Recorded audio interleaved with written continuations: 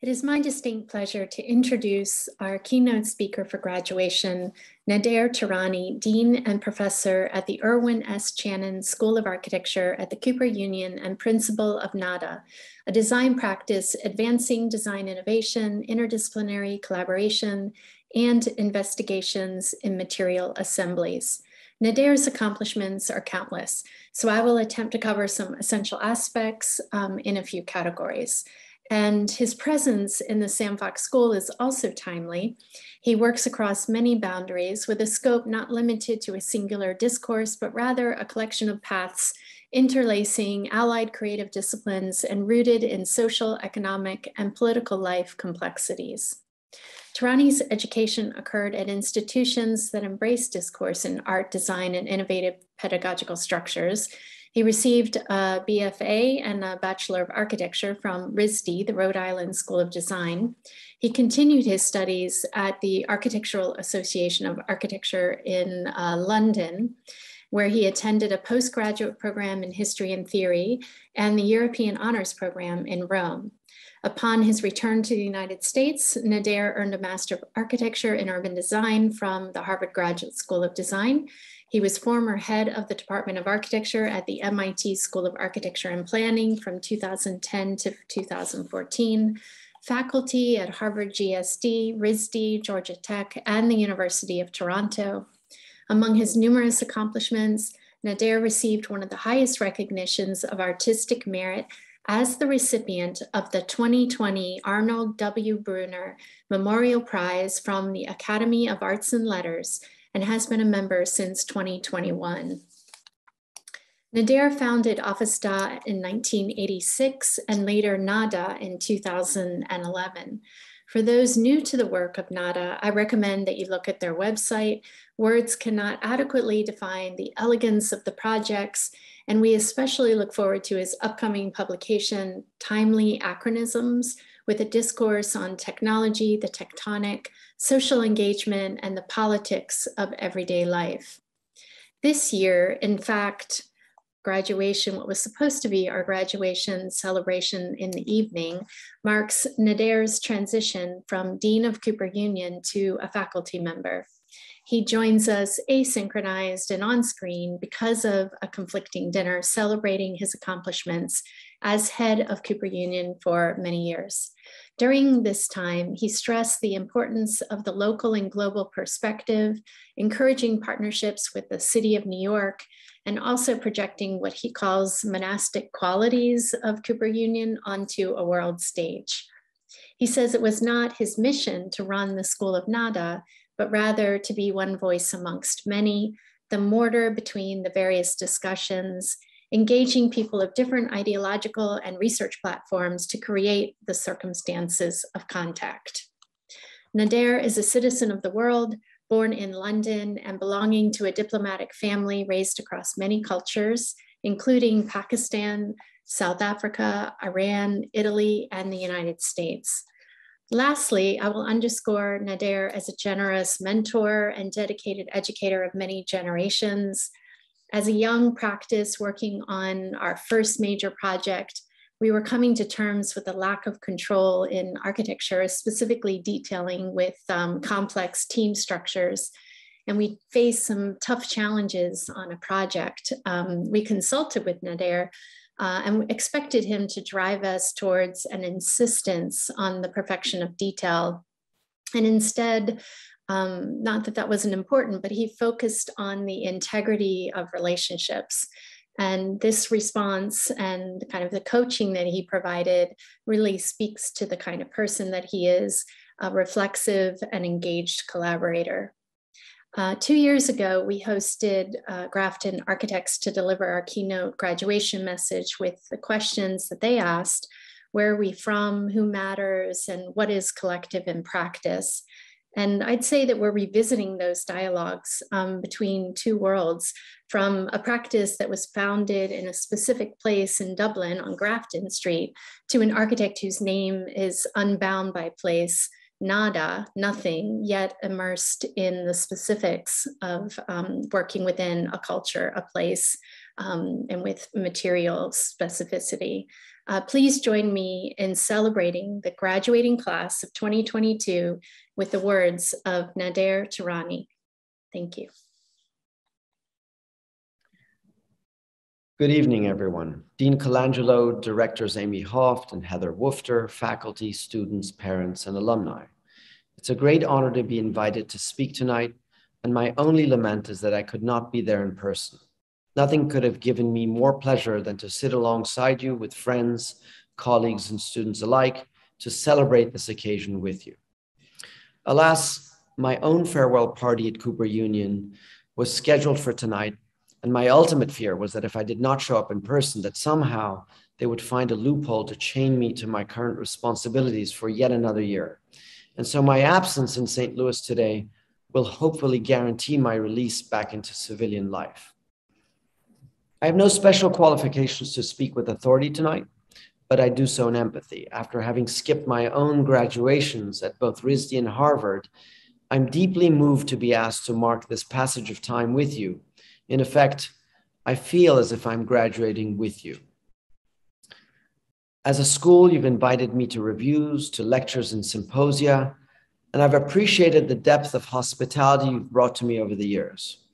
You've taken me along the Mississippi to your many museums and a grand tour of the city, and of course, up and around the Gateway Arch, an unforgettable civic experience for me, something that can only be measured by the scale of this continent not only helping me to overcome my claustrophobia, but doing so by witnessing people of American proportions, twice my size, going through the same motions. Indeed, empathy does go a long way. Despite the abundance of your hospitality, I'm one of those walking cliches that took a good decade to realize that there was a difference between the University of Washington and Washington University. For that, I want to launch this speech with a public mea culpa, an apology, and a plausible remedy that one of your own esteemed faculty offered me some years ago. I forget who it was, but they did so gracefully with a four letter word. As I uttered to them Washington University, they calmly looked at me and said, Wash you. That's the name we go by. The four letter word is not lost to me, even more so when done with propriety and decorum.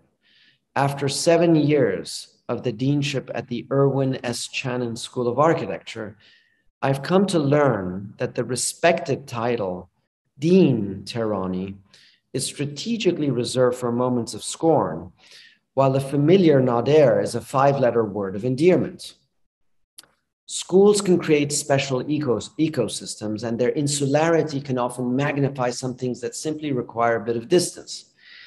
But we need to position ourselves within a slightly larger context to get beyond the granularity of these types of academic PTSD. If you relate to what I'm saying, then like me, you are ready to graduate. The graduation speech is a genre, and as I put these words to paper, I'm still wondering where this will all end. After the honors, the thanks, and the introductory graces come the great challenges of life and then the inevitable words of hope, redemption, and of the human spirit. I'm desperately wondering how to escape this eventuality. But if the trauma of the academic context is actually real for anyone, then that is the space I shall try to resuscitate for redemption. But that's for later. First, let's begin with the fun. Wars are raging around the world, and some of us do not realize how we are participant to them. Climate change is irreversible, and some will be impacted much more than others while we incrementally evolve as a planet. The inequities that are part of this process are something we can elect to deny as we've done so successfully today.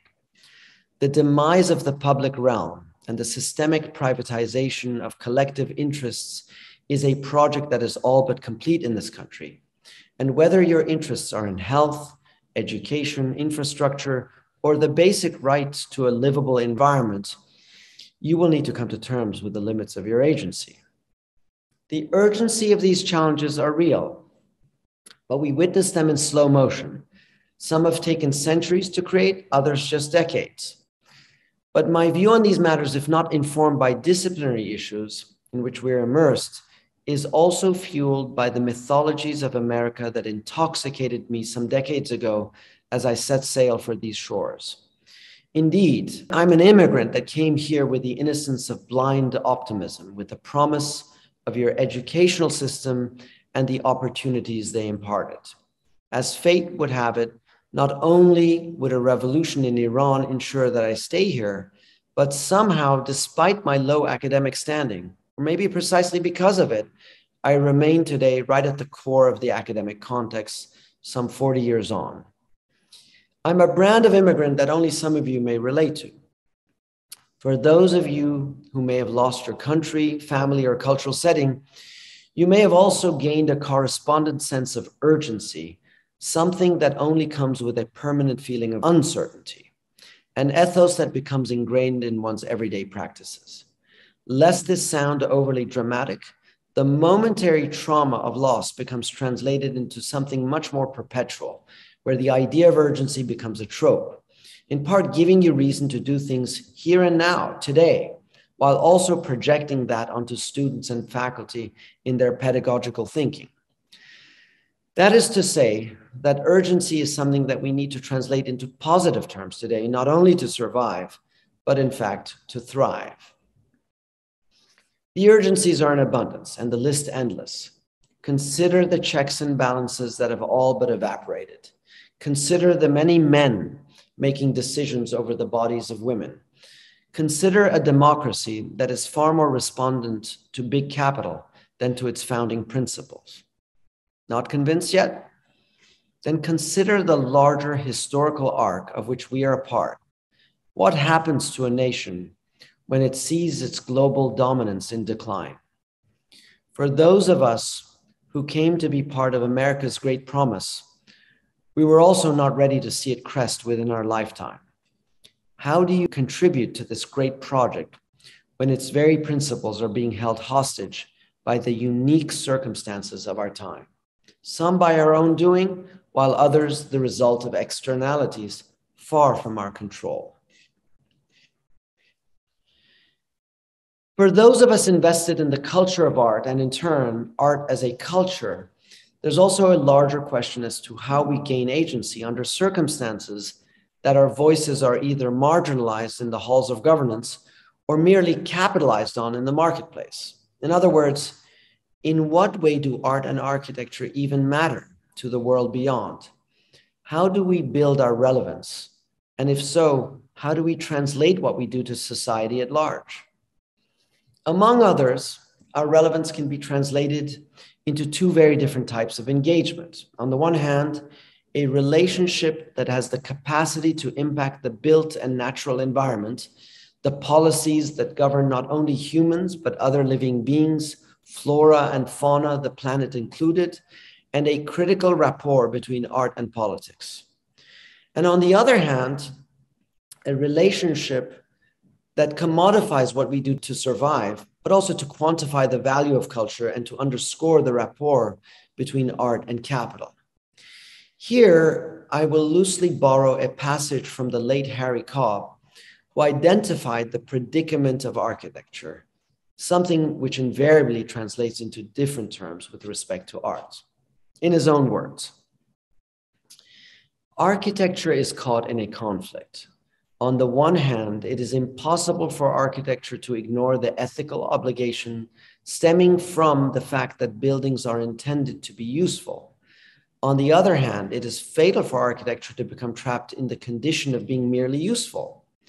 From the ethical perspective, architecture is contaminated by its art status, while from the artistic perspective, it is contaminated by its use status.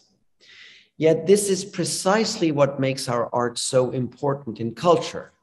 Every work of architecture is inescapably enmeshed in the systems of power and standards of ethical conduct from which its art status demands with equal insistence that it be liberated. The reconciliation of these seemingly irreconcilable demands precisely defines, in my view, that's Harry, the ultimate task of the architect. Though Cobb makes reference to art, he does not directly address the wider discipline, and more notably, the dynamism of its expansive terrain. At the end, art isn't just art, but a constantly transforming discursive terrain with a capacity to engage new media, aesthetics, concepts of beauty and the grotesque, the environment, and the advent of history itself, as we've witnessed in the revelation of archival work in recent years and of course, much, much more. In a way, Cobb imports art strategically into architectural discourse, if only to explain how that which is not merely functional still has the capacity to justify itself through other cultural means. And art is his alibi. That said, he falls short of describing the functionality of art in positive terms, because obviously that's not his main agenda as an architect. In a sense, the surplus that goes beyond mere building amounts to architecture, and art is that surplus. But this perspective lends itself as limiting if we are to view it from the perspective of art as a discipline, that which is rarely called on to shelter us, to insulate us, or to attend to our menial needs. Not unlike architecture, though, art too speaks to its histories, its media, and its genre and yet its functionality is rarely as direct as that of architecture. Whether Bob Ross or Barbara Kruger, we understand that there's a delicate relationship between techniques and ideas, and that if the former builds on the assumed popular mythologies of nature and realism in confluence, the latter builds on traditions of abstraction, dissonance, and politics, however oblique in their expression. But in both cases, there is an audience that is as much constructed as is assumed. And the formation of their message is as much part of their art as is the recognition of the attendant interpretations that build the dynamic of cultural relevance in their work. Not unlike architecture, the nature of representation is always at stake, whether in prose or poetry, or whether invested in process or the logistics of production. The artist's predicament is to distinguish between the instrumentality of the medium as much as its ability to allow us to see the world from different perspectives.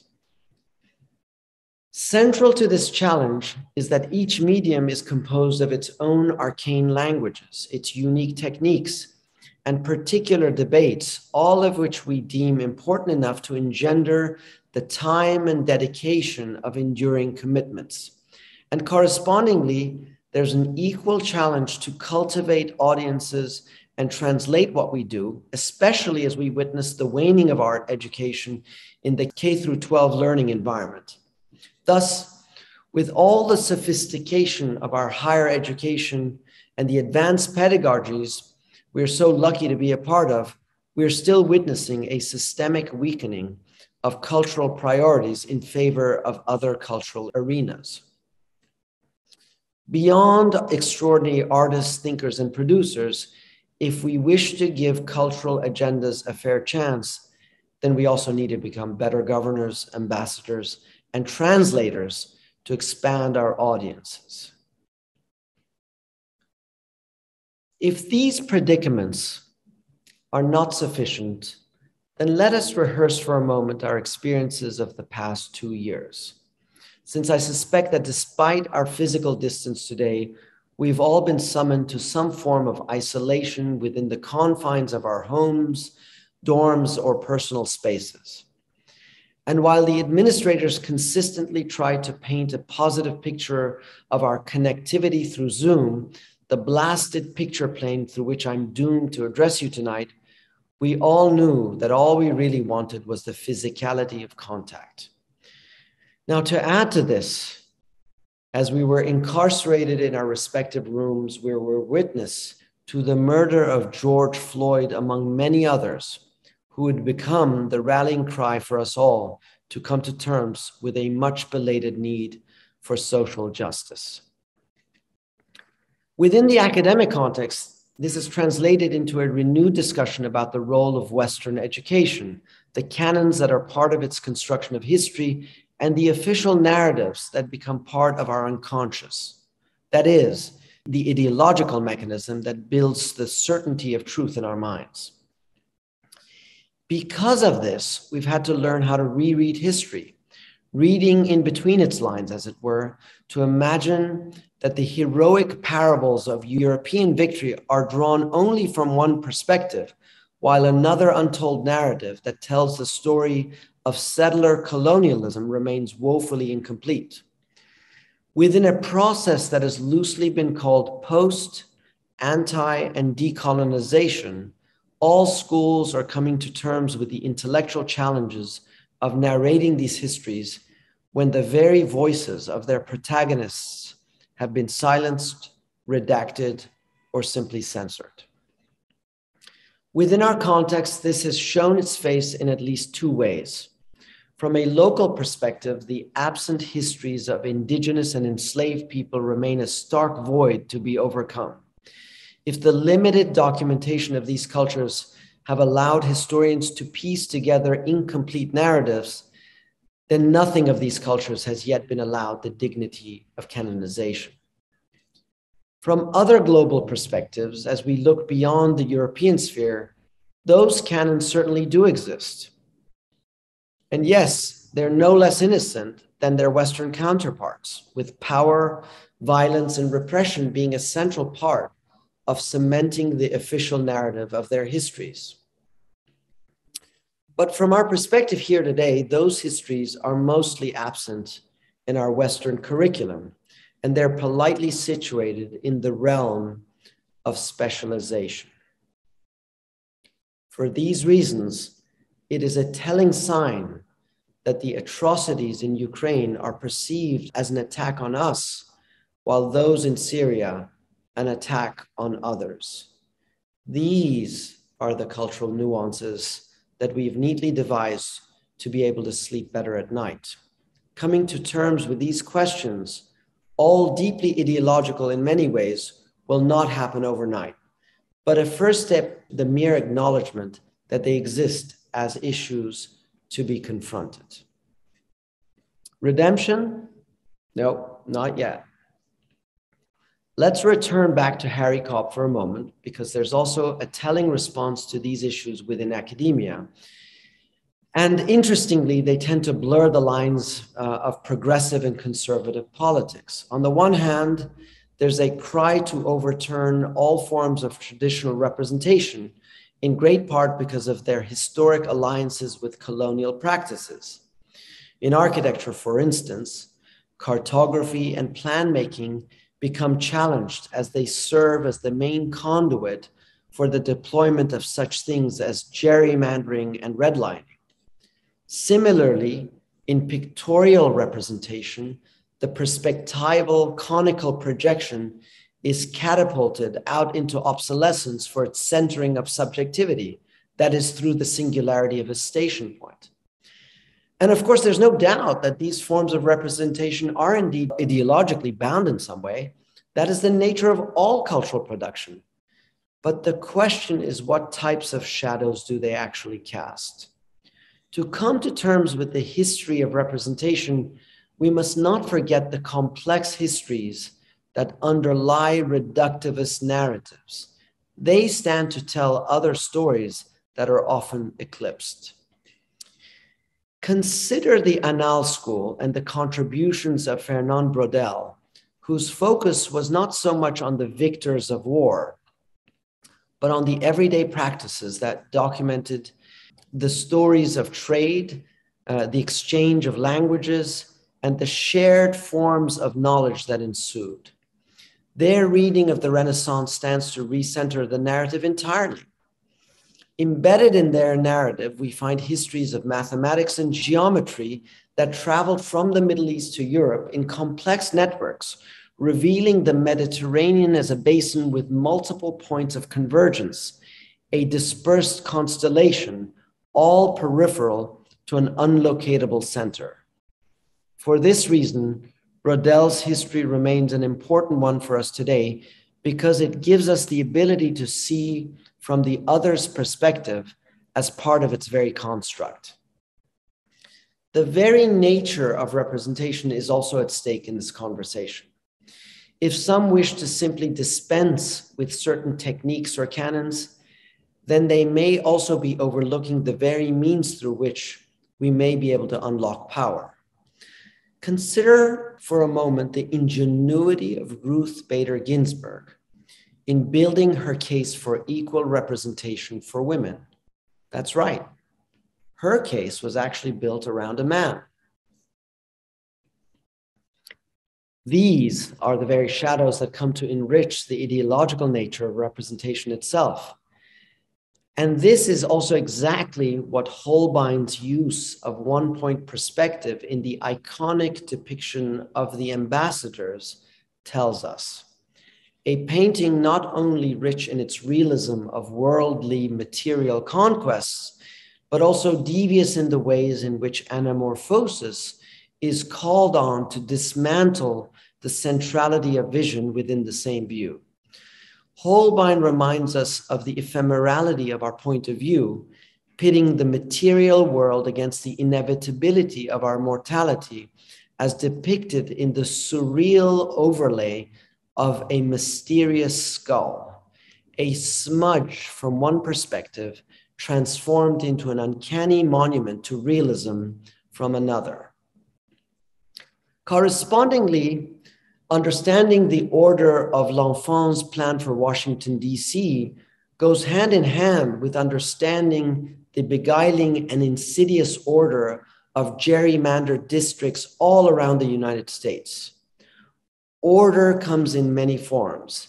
And though these techniques are a part of our expertise, they too can be appropriated by others with equal ease. This points to the precarity of our position as artists and architects, but it also underscores the urgency of our actions. That is, if we wish to be part of that conversation. As artists and architects, if the formal, spatial, and material calisthenics are part of our intellectual investment, then we must ask to what degree are we willing to own them, to demonstrate a responsibility over them, and to dare to speak to power where our medium is exploited to other ends. For today, here and now, the simple question is actually whether you take pleasure in this process of discovery or whether the painful truths of our cultural instruments become a burden for you to confront, the very reason for brushing them under a carpet of denial. So, you came here for a simple graduation, and look where we've ended up. All we really needed to do was to celebrate this moment together, to rejoice, and to throw our caps into the air. So let's take a moment to figure out how to dig ourselves out of this hole of doom and gloom. To the parents in the audience who are wondering how schools prepared their daughters and sons for the world out there, I'm here to give you a bit of comfort. As deans and teachers and as planners, we work tirelessly to calculate every inch of our curricula, our courses, and the structure of our schools. And yet, none of that actually determines the cultural vitality of the academic environment, nor the certainty of the future of your kids. When we do well, the best we do is to create an ample looseness such that the students are able to discover their own agency in their education, in effect, to lead it themselves. And when we do well, we give it just enough structure for them to feel tethered to something, even when we know that that something is insubstantial. More importantly, when we succeed, we create an atmosphere, something less quantifiable and allow them to see the world from multiple points of view, in empathy, as it were, what I've been trying to communicate in different ways this evening.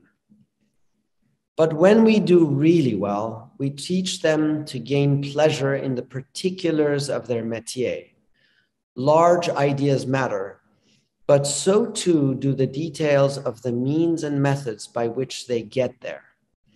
And lest we get sucked into the positivist mandate of solving problems, of growing economies, and of building success, then this is a gentle reminder that we need to become more comfortable with asking the right questions first, sometimes opting for the restraint of reduction rather than the opulence of growth. And in this process, redefining success by embracing the risk of failure. Some of you today will be rid of school once and for all.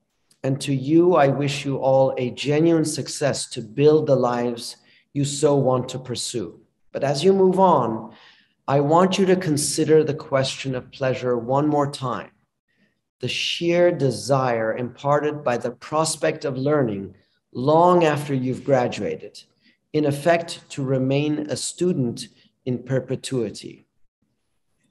As the accidental academic that I am, this is a gravitational pull that has kept me close to the school as an institution for some decades, not only to support it, but to question it, to challenge it, to redefine it, and even to overturn it. Equally so, the studio space that is at the core of our lives is one that I continue to yearn for, whether at school or in my office. The very uncertainties that await there, the speculations, the little surprises, and some of the larger discoveries, that is the space of pedagogy that is unlike any other. It is not so much the work, but the prospect of endless play. That is what I hope you remain in love with but also the idea of building a debate with people long gone centuries ago, as much as constructing conversations with those yet unborn. These are the simple pleasures of the academic environment that I so love and hope I can seduce you to do the same. Now, that, my friends, is the redemption I had tried so hard to evade. Happy graduation to each and every one of you. Congratulations on a well earned degree, and good night to you all.